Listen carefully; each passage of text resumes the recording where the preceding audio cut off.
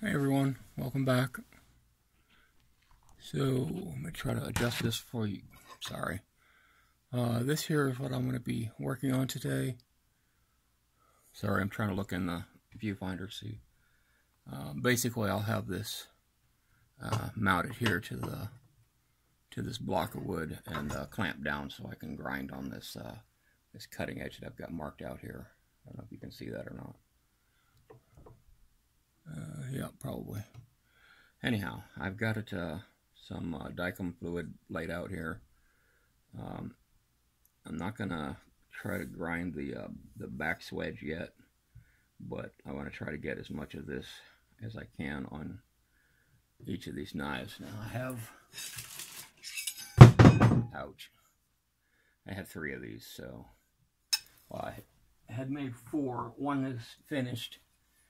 Here's where I started grinding on the angle grinder, or the little belt grinder there, belt sander thing, and it's just laborious. It's so I'm going to try with the angle grinder with a flap disc, like a 40 grit or something. So I might as well start with this one here since it's already started basically. And I'm just going to clamp it up here on this block of wood and so I've got something strong connecting to it. Hopefully it doesn't go sliding around much.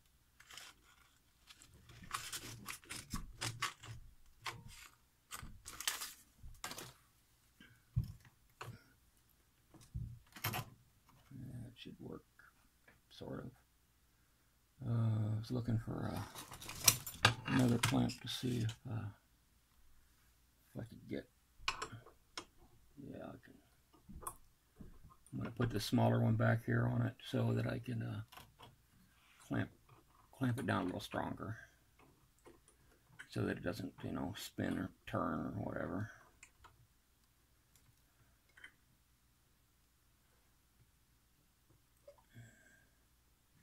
So I got a piece of steel bolted to the bench, or, you know, clamped to the bench, and then I've got this block of wood clamped to it, and, oh yeah, it's nice and strong. Alright, so, hope you can still see this okay, yep.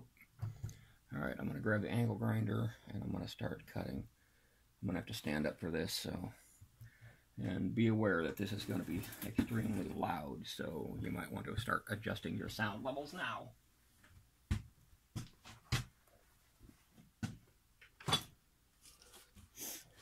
All right, here we go.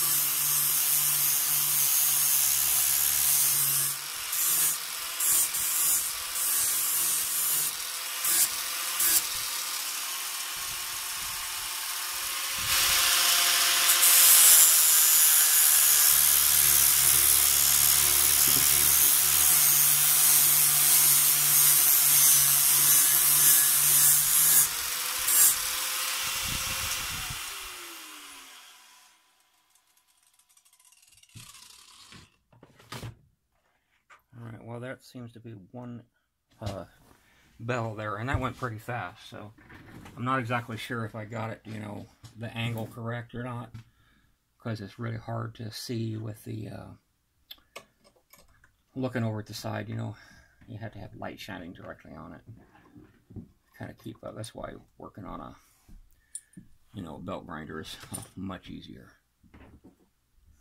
Alright, let's take a look.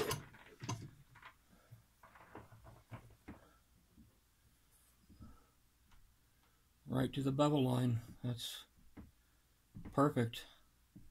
Basically, the rest of it I could literally touch up with a uh, with uh, one of my files here, and it would uh, bring that uh, bevel absolutely flat and perfect.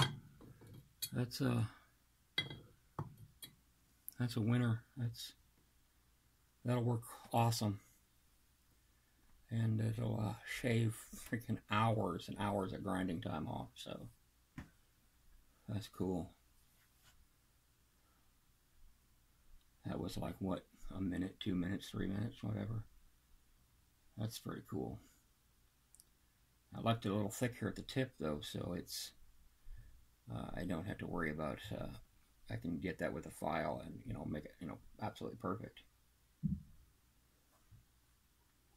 Damn, that's awesome. All right, so now I'm going to reclamp this down and uh, we'll uh, we'll see what I can do.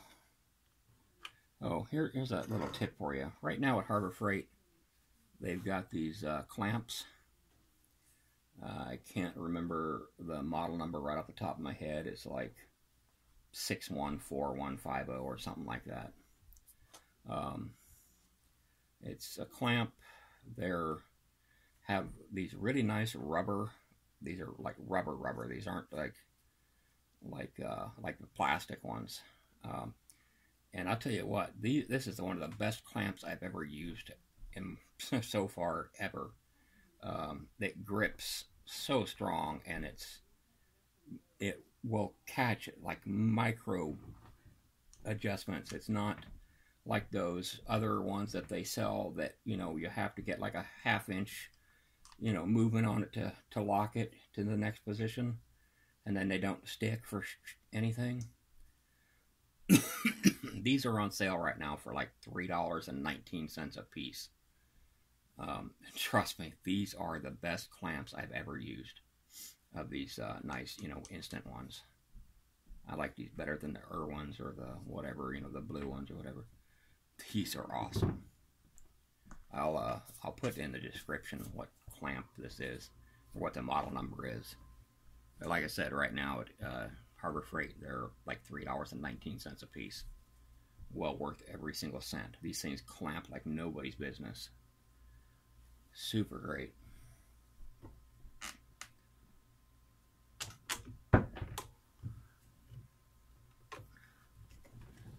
Yeah, I could pull my whole bench off with with that one clamp.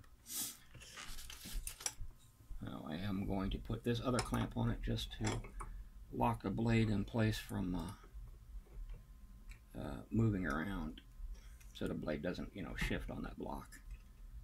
Oh shit a little bit too close to the grinding line there. All right, nice and solid.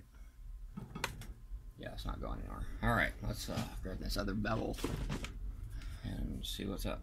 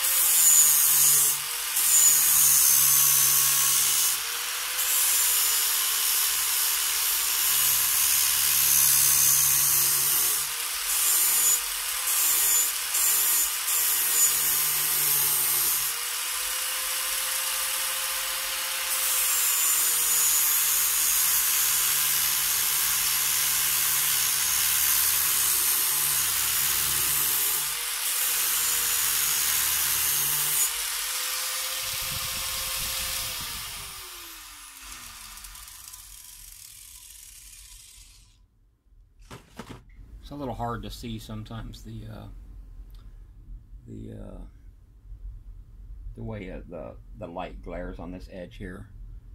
Uh, I can't quite see the the actual like cutting edge, how thick it is or anything. So.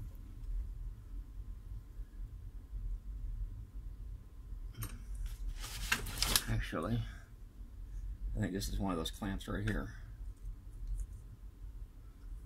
It's a Pittsburgh ratchet bar clamp spreader, six inch. Um,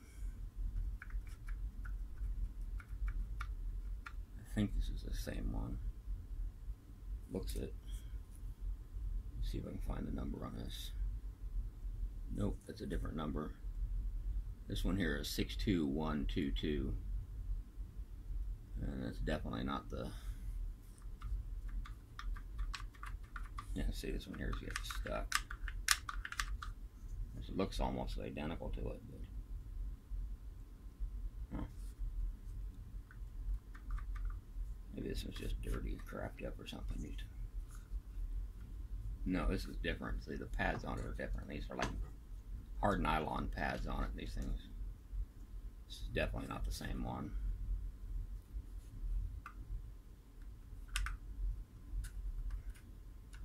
yeah, don't get this one. This one's complete pain. All right, let's get this knife off and take a look at that edge real quick. Mm.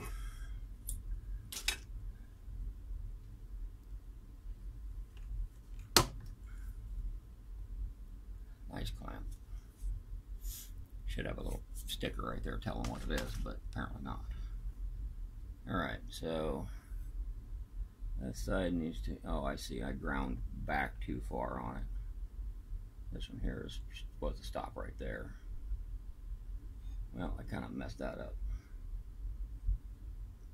But I got about the thickness of a, a nickel, maybe a thickness of a quarter left here.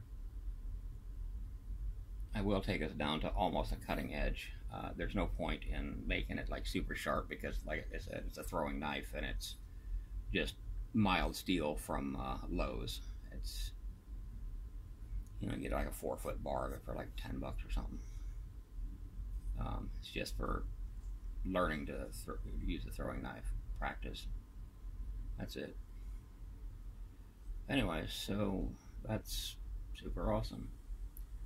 Uh, later on, I will just uh, clamp this down here and uh, take one of my good cutting files and uh, stick it on there and see how well it uh, cuts. Alright everyone, I really appreciate you joining me today, so you all have a great day and try to enjoy your week. I'll see you all later. Take care now.